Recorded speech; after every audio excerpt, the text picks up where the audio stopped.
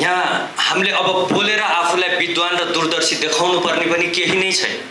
यो देशमा बसेर हामीले आफूलाई विद्वान र दूरदर्शी देखाउनु भनेको त एक किसिमले यो टाइपले पनि मूर्खता हो कि देश कुन हालतमा छ र कहाँ बसेर कुन चिजको विद्वानता र दूरदर्शिता देखाउँदैछौ भन्ने क्वेसन त हामीले हामीभित्र नै उठाउनु पर्ने हुन्छ। मलाई लागेको म एकदम सानो कुरा गर्न चाहन्छु है। किनभने अक्सर हामीहरूको बानी परिसक्यो धेरै ठुलो कुरा गर्ने। म गीताबाट प्रभावित पनि छु। कृष्णले भनेका नि हुन् अति सूक्ष्म नै अति विशाल हो। तर हामीले विशालताको मात्रै कुरा गर्न थाल्यौँ। सूक्ष्मलाई छोड्थ्यौँ। सूक्ष्म नबुझिकन विशालताको कहिले पनि सही आकलन हामीमा हुन सक्दैन। एउटा चिज अहिलेको अवस्थामा जस्तै हामीहरूलाई त कलाकार सम्झिन्छन् हामीलाई कहीँले बोलाउँछन् मान्छेले भिड जम्मा गर्नलाई। म यति सानो चिजमा पनि लिमिट हुन चाहन्छु दुई तिनवटा कुरा मात्रै मलाई लाग्छ ख्याल गर्नुपर्ने कुरा। कुनै समय कुनै राजनैतिक पार्टीहरूले गाउँ गाउँमा गएर ती गरिब गरिबीभित्र गरिबीभित्र पिल्सिएर बसेको त्यो गाउँ ती जनताहरूबाट गएर कस्तो गजबले कुरा गरे कि तिनका छोराछोरीलाई काँधमा बन्दुक राख्नलाई सिकाइ नै थिए। तर हामीले बन्दुक उतार्नलाई हामीले अहिलेसम्म नै भन्न सकेन।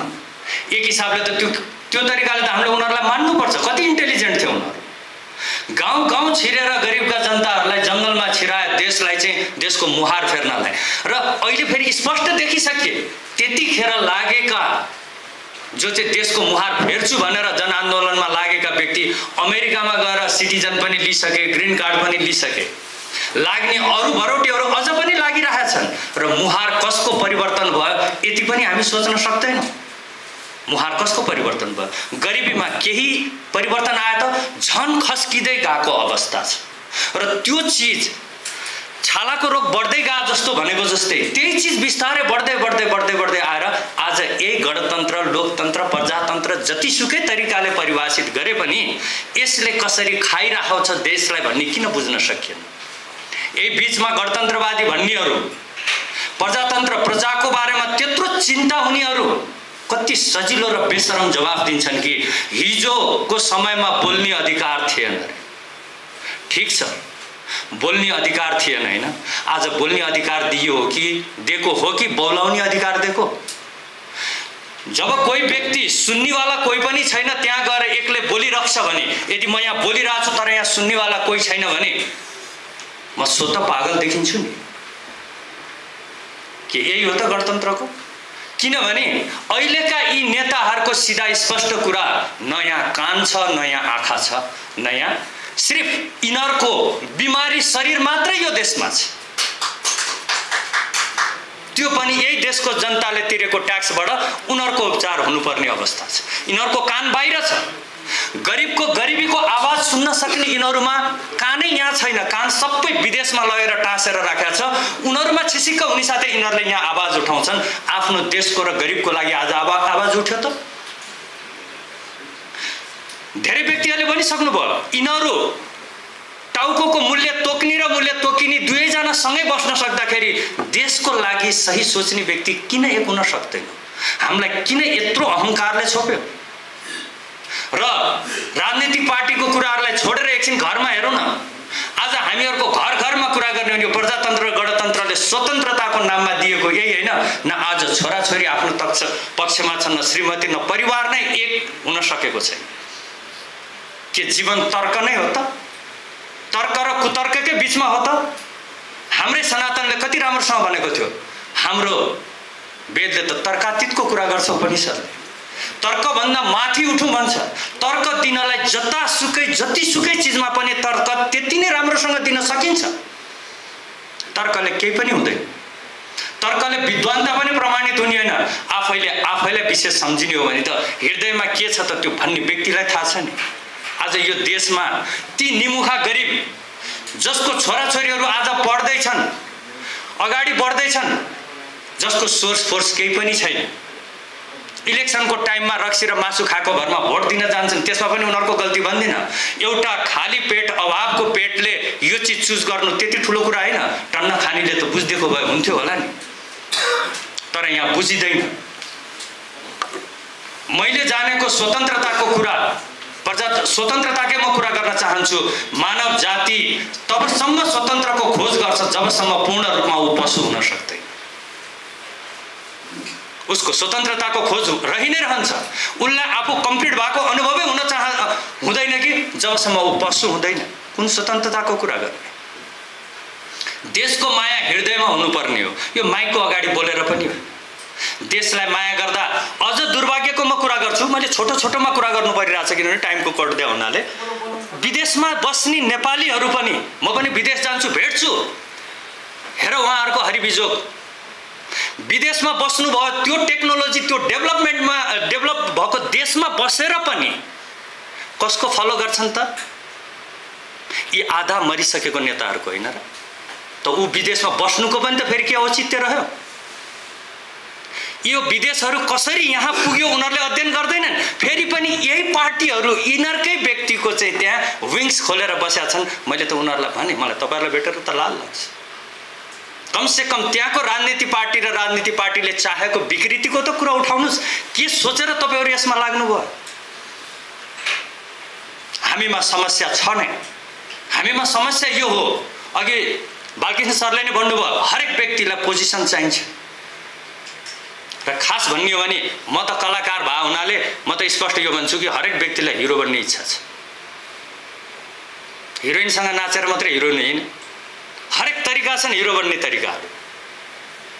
तर यहाँ हरेक व्यक्ति राजनीतिको अलिकति जान्ने साथै मलाई यो पोस्ट चाहियो त्यो पोस्ट चाहियो उनीहरूले यो सोच्न सक्दैनन्। यदि स्वार्थी भएर आफ्नै बच्चा बच्चीहरूको भविष्य सोच्ने हो भने पनि यदि हामी हाम्रो बच्चा बच्चीको भविष्यको शुभचिन्तक थियौँ भने पनि हामीले यो किसिमको अभियान सुरु गर्नुपर्ने थियो।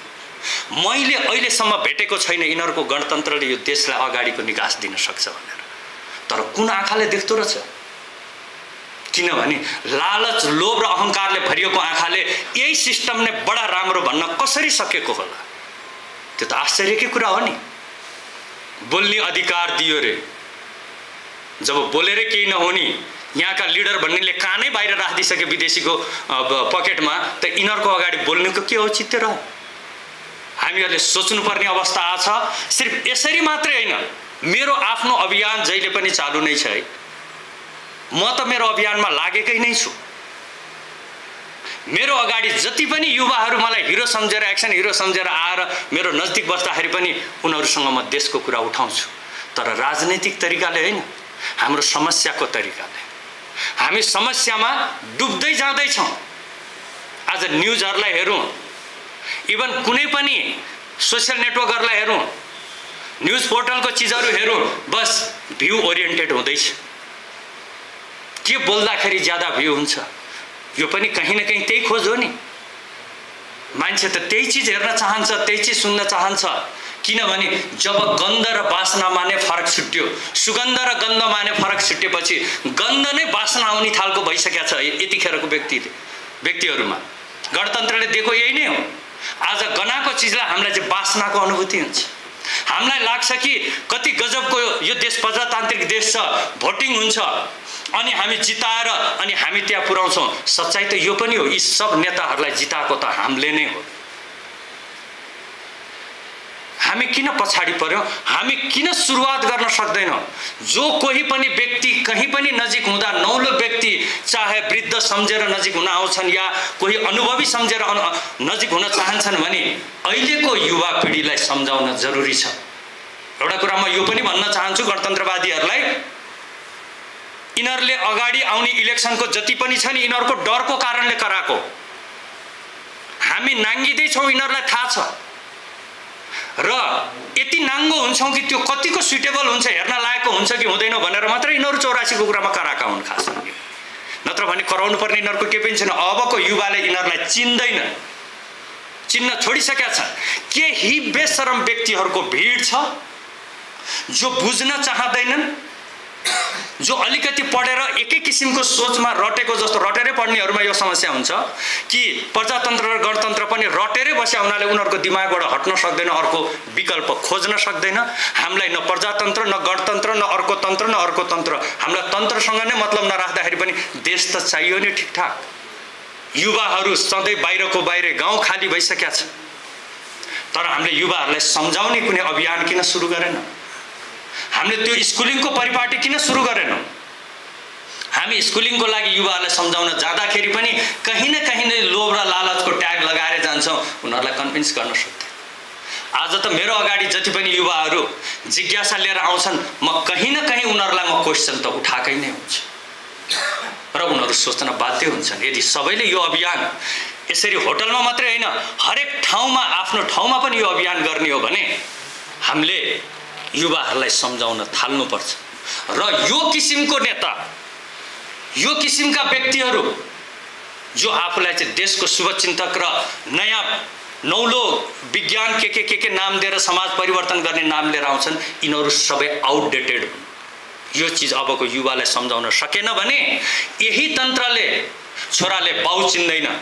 आफ्नो परिवार चिन्दैन नातागोता चिन्दैन। किनभने यो कुनै पनि धर्म यो पार्टीहरू धर्मलाई यिनीहरूले प्रायोरिटीमा राखेको नै छ धर्मलाई प्रायोरिटीमा नराख्दाखेरि जुन अधार्मिक सुरु भएको यो स्वाभाविक छ। धर्म मूल कडी हुन जरुरी छ धर्म केन्द्र हुन जरुरी छ जसको केन्द्र छैन त्यो मान्छे जहाँ पनि भड्किन सक्छ जुन हालत अहिले नेपालको भएको छ। बुझौँ र आफ्नो सराउन्डलाई सम्झाउन थालौँ। एक्लो अभियान भए पनि लाग्दै जाउँ र जुड्न सक्नेसम्म देशको लागि जुड्न सक्छ भने हामी जुडौँ। र यो देशलाई हामीले पक्कै पनि राम्रो निकास दिनुपर्छ। ती व्यक्तिलाई सम्झेर जसका कोही पनि छैनन् तिनीहरूको लागि पनि हामीले केही गर्न सक्नुपर्छ भन्दै म यो दुई शब्द यही टुङ्ग्याउँछु। हस् नमस्कार।